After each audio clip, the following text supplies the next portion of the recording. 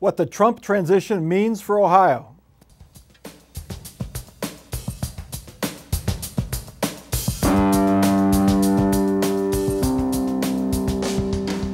Joining us this week on Columbus on the Record, Laura Bischoff, State House reporter for the Dayton Daily News, Jo Ingles, reporter for Ohio Public Radio, Dale Butland, Democratic strategist, and Gene Krebs, former state legislator.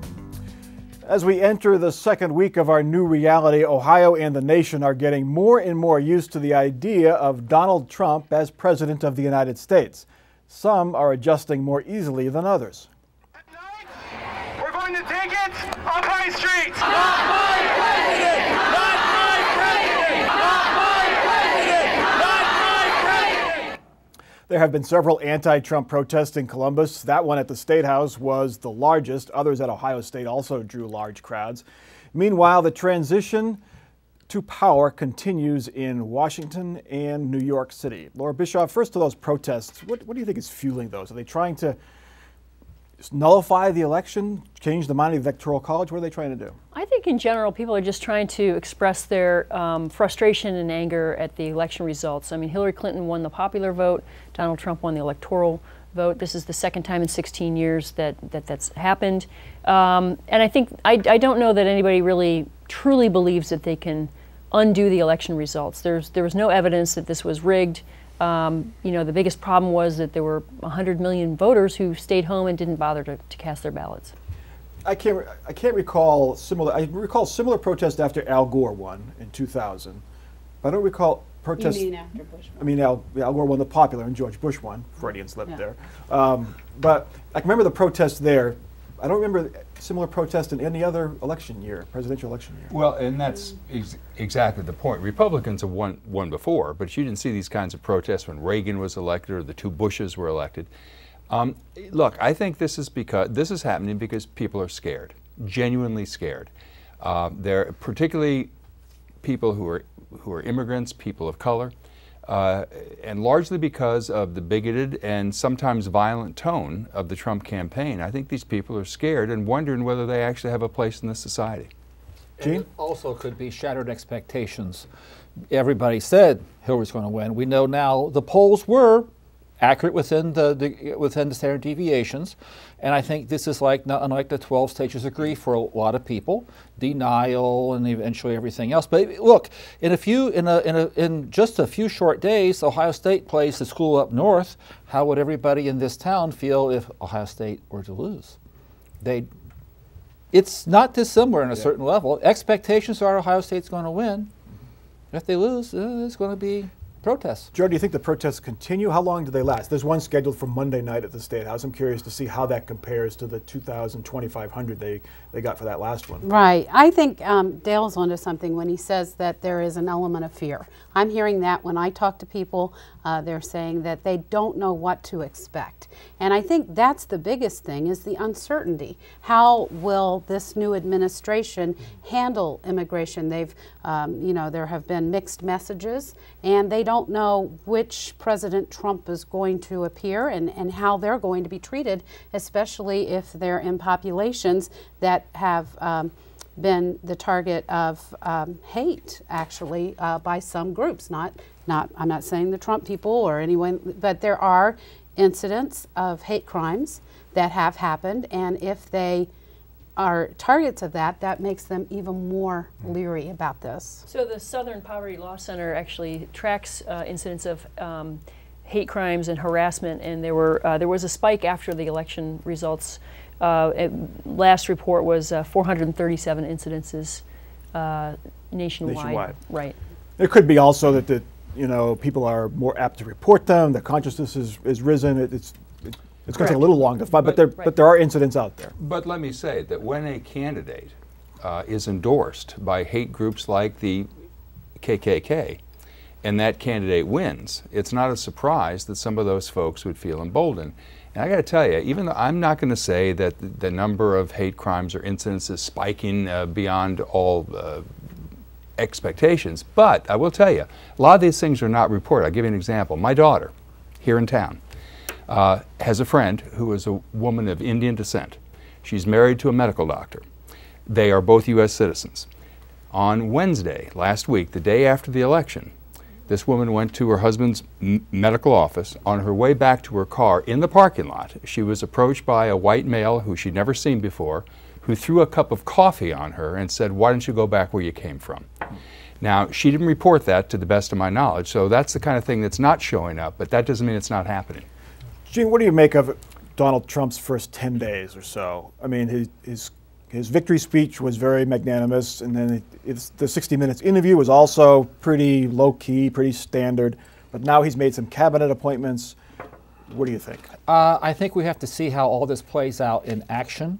Um, I'm one of those rare Republicans who, for example, I do believe that Obama was born in Hawaii and that he is actually a Christian and not a Muslim.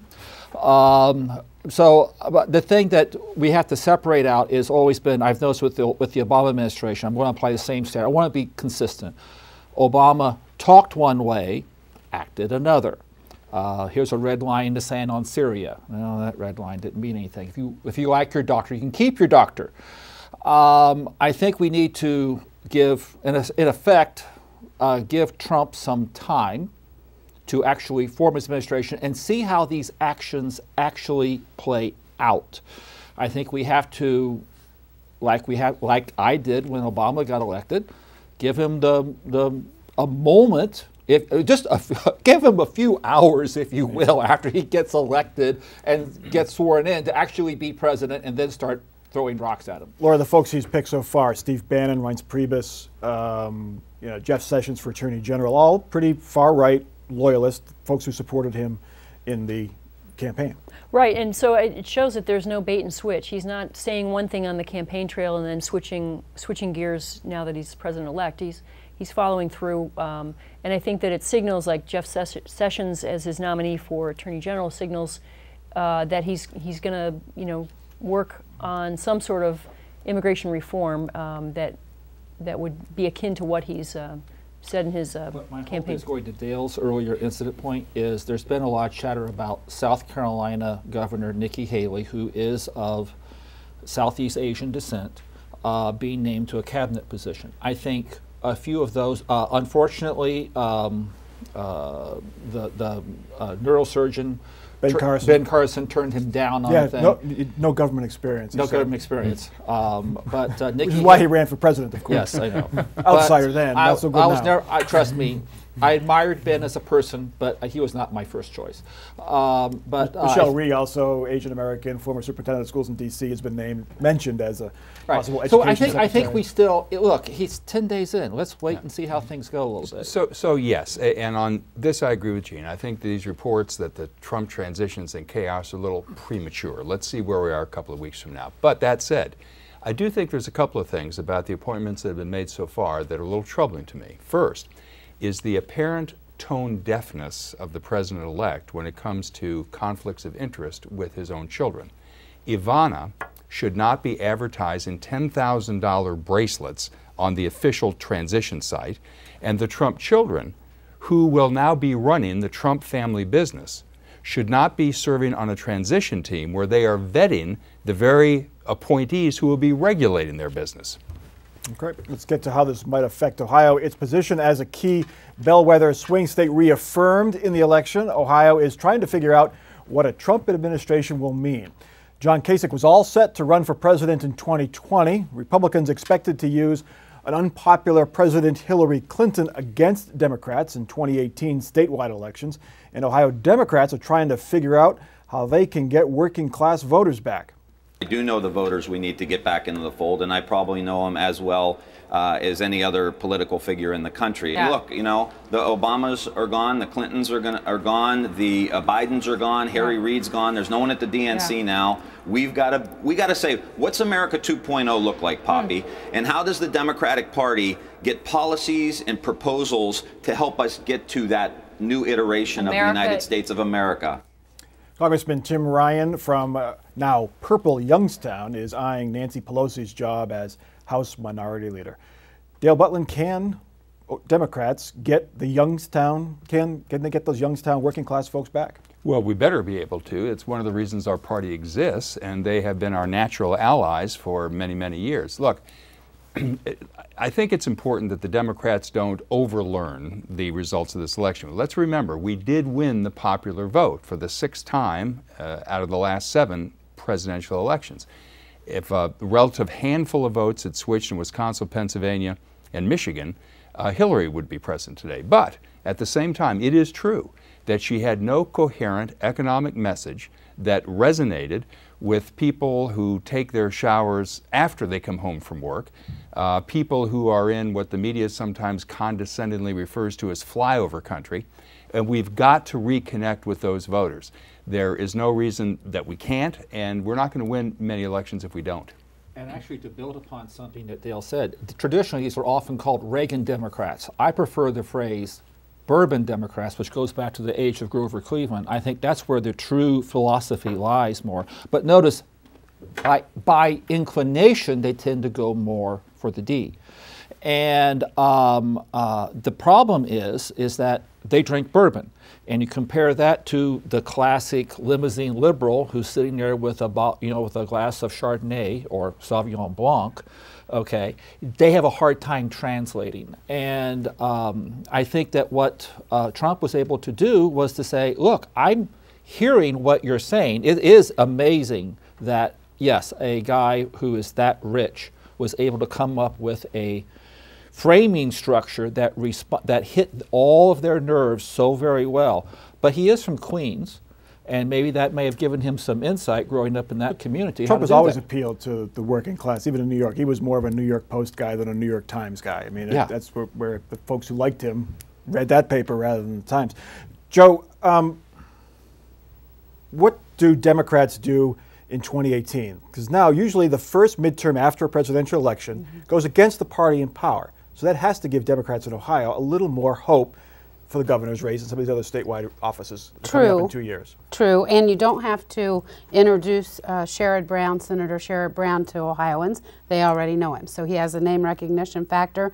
I think for Democrats, they're going to really have to stand back and, and as Dale said, they're going to have to let the process work, but they're going to have to speak out each and every time they see a policy that they differ with and that they would do differently, they need to make that case. They need to go in there and make that case to the voter in 2018 and not wait until four months before an election to start gearing up. I mean, the next election starts now for Democrats. And here I'm going to do a da dangerous thing. I want to speak about the Democrats, but it, they need to, at, at the ODP level and at the national level, they need to figure out who and what they are, and they need to get the benches trained. And I still go back to it was a tragedy. You were backing P.G. Sittenfeld for the U.S. Senate. I still think that Rob Portman would have beat him, but you would have had new voices and new ideas going on. And I earlier made the prediction on this show that Hillary would not be the nominee because I was expecting a fully functional national DNC, but now we know from WikiLeaks that never occurred. So the challenge for the Ds in Ohio and indeed all around America is to get yourself going on an honest basis. And I have to commend your previous candidate. I actually thought he could have been part of the next wave, but now he might as well go and make himself millions out in out in a hedge fund somewhere. Well, we do need to. I'm sorry, Laura. go ahead. Say, you know, the Democrats are in a bad bad position. Since 2008, they've lost uh, a net of 13 governorships, nine Senate seats, 63 House seats, almost a thousand state legislative seats, and 29 legislative chambers. They got to. They have to. They need to retool. Well, that's actually where I was going. Uh, we can't any longer depend on winning the popular vote in a presidential election to lead us to victory. The Republicans have been eating our lunch when it comes to governorships, when it comes to state legislatures, um, and so we need to take a page, frankly, out of the out of the, the, the, Republican playbook. We need to start building from the ground up, and we start and we need to start winning uh, some state and local elections. Do Democrats have the patience for that? Well, we're going to have to. I mean, uh, you know, the, the truth of the matter is, is, is, that you, you know, when you look at where this election was, uh, it was all blue on each coast and then a sea of red in between. And we just can't win like that, and there's no reason that we should have to. I mean, the, the, the people who have been abandoning us, you know, we've got to get back, while at the same time giving the Obama coalition of, of you know, minorities, women, and young people a reason to show up and vote, which they did not do this last time. Laura, what happens to John Kasich now? He was all set to give a speech two days after the election in Washington, D.C. He was eyeing 2020. He still could be eyeing 2020. You have to figure if Trump is unpopular, which is possible, four years from now, he might primary challenge him, right? He, he might, but I think that that is um, it, the, the, chances of that happening are slimmer and slimmer. Um, I think that uh, you know he would have to win in a GOP primary, which is you know you maybe you got to go far to the right, and John Kasich is not a far to the right kind of guy. Um, I think um, there's a chance he might run for Senate in 2018 in Ohio uh, against Sherrod Brown.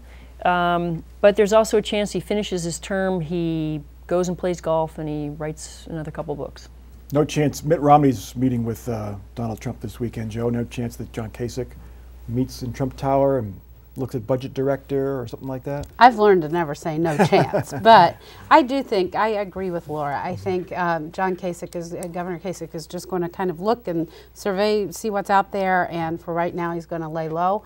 But you know we've got to remember 2018 is two years from now. That's a long time in, in politics. politics. Yeah. So I, I, remember Senate Bill 5 when that came about and everyone said, oh, this is just going to sink John Kasich. He's, uh-huh. he's not going to be able to be reelected. And, you know, of course, three years later he was. So, um, you know, it's a long time. We've got to, you know, stand back and kind of watch what happens.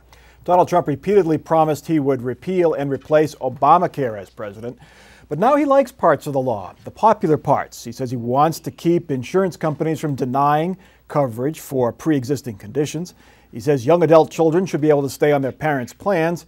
It's safe to say, though, that the law is in limbo, as are the 800,000 Ohioans who either enrolled through the exchange or qualified for expanded Medicaid. Gene Krebs, what will Obamacare look like a year from now? Um, hopefully, more intellectually honest than what it currently is structured. And by that I mean it's called the Affordable Care Act. It should be called the Accessibility Care Act. It's not about affordability, it's about accessibility. We've completely overlooked that aspect of it, and as such, then the costs have gone up.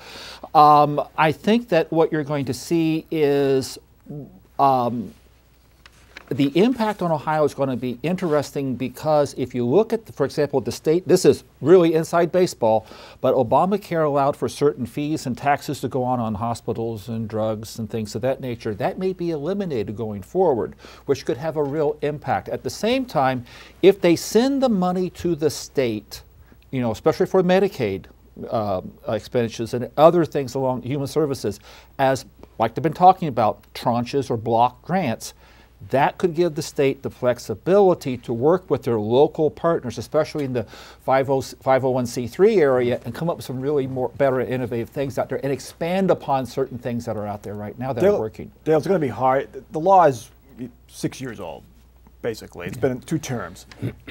Parts are very well established, both as far as folks who have insurance through Obamacare now and the insurance industry and the hospital industry, which are now used to it and using Obamacare's. Mm foundation to pay their bills and, and get their revenues. How hard is it going to be to unwind all that? Well, it's going to be hard, but it's going to be particularly hard because there are 22 million Americans who now have health insurance thanks to Obamacare who previously didn't. And the Republicans, who for six years have talked about repeal and replace, repeal and replace, they've been great on the repeal part. They've done that 50 times, but we still don't know what the replace part looks like. And, and, and the one thing we do know for sure, though, is that oh, Trump says he wants to keep the most popular features of Obamacare, like, for example, uh, making insurance companies cover pre existing conditions. Well, it's going to be really hard to do that unless you have everybody in the pool, which Without is the what mandate. the individual mandate yeah. was all about. Otherwise, people game uh, you know, the system and don't buy insurance until they get sick, which takes the whole thing down. But oh, Paul Ryan does have a plan. It's been out there for 15 months. Uh, but I think the word that I wish the media would use rather than repeal or replace or anything like that is unravel because it's such an intricate web that you're going to have to be very patient at this. Pull string here, see what happens, look at this over here. This is not going to be easy to do, and I, I don't think we're ever going to be able to unravel all of it. You know, it's not the media that's that's labeling it repeal and replace. It's right. the Republicans that have been saying repeal and replace. I know, exactly. but but and, it, and it is an unraveling, and I think it's up to the media though to no, be it, I mean, honest they, about they have been fully upfront saying they want to they want to rip it up. and Right. replace it with something else, and that and They've taken 50 votes Right. to do that. And, Right. Right. m- m- Over and over. And may I just say this, since my friend Gene here just referenced uh, Paul Ryan's plan. A key feature of that plan, as is this case with Donald Trump, who talks about selling insurance across state lines. Well, you know something? it's already perfectly legal to sell insurance across state lines under the Affordable Care Act. The problem is uh, that not one single insurance company has volunteered to sell a policy that's been approved in one state to consumers in another. Not the, and the reason is you can't find a network. If a person in Ohio wants to buy a policy from North Dakota, you can't find doctors or hospitals that are in the network here in the state of Ohio. So that's no answer at all. Speaking of doctors and hospitals, Jo, what do insurance companies think of Obamacare? There's more people insured, Yeah, there's so more there's people less free insured. care through either through Medicaid expansion or the exchanges. Right. I think the biggest thing is we've got to remember why Governor Kasich wanted it to begin with, and that was to reimburse the hospitals because the hospitals, especially those smaller hospitals in areas where there were, uh, you know, where they were kind of failing because there's not enough patients who actually can pay the bills, and those hospitals have been propped up with Obamacare. And that's why, uh, that was a major reason why Ohio got into it in the first place. And I think it's going to be very difficult if you're not supporting those hospitals in whatever plan comes about. That's going to be something we're going to see a lot of lobbying for. But Trump supporters will be upset, Laura, if in the first 100 days there's not a repeal, I would guess. Uh, yes, although I think there's a lot of Trump supporters that are actually on Obamacare. So we'll have to see how that works out. New high school standards for graduation are coming under fire. Hundreds of local school leaders converged on the State House this week to protest the tougher standards and requirements. So far, more than a third of Ohio high school uh, students are not on track to get their diplomas in 2018. Many educators say harder tests could lead to sharp drops in graduation rates. If the current graduation standards remain in place for the class of 2018 in Olmsted Falls, we will plummet to about 68%. While we recognize and respect and absolutely agree with the board's desire to raise the standard for a high school diploma in Ohio, we're concerned with the speed at which it's being done. Jo Ingles, the speed at which it's being done, this was approved in 2014. That's Right. two years. Doesn't go into effect for two more years. How slowly do they want it to go? The problem is if you look at the underclassmen, the sophomores and the juniors, they're not performing well right now. They're not on track to be able to graduate. And that 68% that he referred to, actually in some school districts, it's lower than that. And if you look at uh, some of the Republican senators who are uh, key in this debate, they're saying if you don't, you know, do something here and fix it, then the legislature is going to have to come back because they're not going to. It, let's face it, the state doesn't want to have 44% of its students not able to graduate because its standards are too high. Laura, these were supposed to get students ready for the workforce. These new standards, tougher standards, supposed to get students ready for the workforce. If they lower the standards, will the students be ready for the workforce? Well, it, you know, that's the big question is, is how important are these standards um, to getting re- ready for the workforce and also ready for college? There's been a, lo- a lot of students end up needing remediation when they get to college, and that's really expensive. And it- 40% of high right, and it goes to the college affordability prob- problem. So, I mean, I think that they do have to push for the standards, but um, you know, it is a big concern for you know urban and Appalachia students who uh, are in kind of tough districts. How about this for an idea? what if, uh, since it's pretty clear, I mean, if they don't do something and you get 30% of the state's high school students not graduating, uh, legislators and the State Board of Education are going to face a full on revolt from parents. So, how about we involve teachers and superintendents, people who are on the front lines of education, in drawing up these standards and these tests that are being They, used? they weren't in 2014, Gene? Not much. Yeah, he- here's the thing, and I'm going to go back a quarter century when I was on a local school board, and that's when the state first started to do this testing. And what we encountered right away was what we called the Lake Wobegon effect, where all the children are above average. And all the s- principals and superintendents said, all of our students know everything they need to know. Then they took the test and we found they didn't know anything. And so this is what, and I think, but the key problem we're having here, and I do respect Senator Peggy Lehner for her work in all this, the problem we may have here is so many cooks in the kitchen. We have the mm-hmm. legislature, we have the state board, we have the governor, we have everybody. All right, we'll get to our off the record final parting shots, and we'll start with Gene Krebs. Um, my very good friend uh, John Begala has recently re- released a new paper on the impact, the troubling impact that small towns are having with a whole host of problems. You can find it on the Center for Community Solutions website. It might give you some hints as to what's been fueling the recent Trump phenomena in rural Ohio. We'll put that link on our Facebook page. Dale. If Ohio Democrats need uh, candidates who can appeal to working class voters, I've got two words Jerry Springer. Now, I don't know whether the former talk show host and mayor of Cincinnati would be willing to run, but he's smart, he's charismatic, he is articulate, and I can tell you from personal experience, he's got this exact same kind of appeal to working class voters that Donald Trump does, except without the bigotry and the racism. Ohio Democrats ought, ought, ought to be giving Jerry a call. Jo.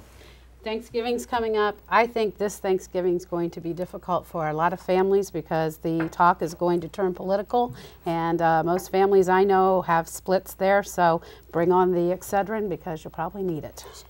Stick to football, Laura. All right, so it's a topsy-turvy world. The you know the Chicago Cubs are the world champions. Donald Trump is president-elect. Brangelina is broken up. Uh, for my the next uh, big thing to shake the earth will be Michigan will beat Ohio State by two points. Says the University of Michigan grad. Right. All right. Of course, this has been a sad week for those of us in public media. We, uh, the PBS NewsHour and Washington Week, lost Gwen Ifill to cancer. We certainly will miss her groundbreaking journalistic talent and her grace on our televisions every night and every week. And of course, we're going to miss that smile. If you get a chance, read David Brooks's tribute to her in the New York Times. It's also posted at the Columbus on the Record Facebook page. That's Columbus on the Record for this week. For our panel and for our crew who did a heroic job getting us onto this new set, I'm Mike Thompson. Have a good week.